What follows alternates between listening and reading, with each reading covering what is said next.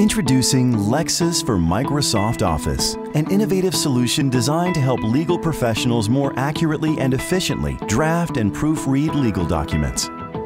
Here's how you can easily convert non-protected PDF files into editable Word documents while retaining the original document structure. This is possible through LexisNexis partnership with Nuance Communications, a leading imaging solutions provider, to bring you what we believe is the best PDF conversion technology available in the marketplace today.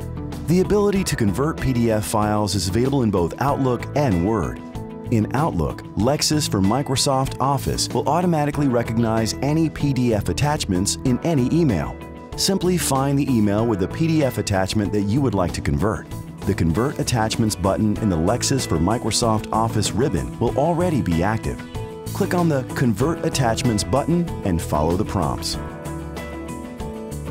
Your PDF will be automatically converted and open up as a new Word document. In Word, select the LexisNexis tab to access the Lexis for Microsoft Office ribbon. Click the Import button in the PDF section of the ribbon. This will open a dialog box allowing you to search for any PDF file on your hard drive or network. Once the file is selected, the PDF file will be automatically converted and open up as a new Word document. In both Outlook and Word, the Convert PDF tool works whether the PDF file is your own existing work product or an opposing party's document.